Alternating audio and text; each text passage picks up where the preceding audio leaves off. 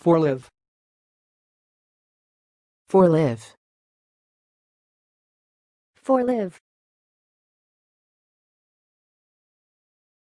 Thanks for watching. Please subscribe to our videos on YouTube.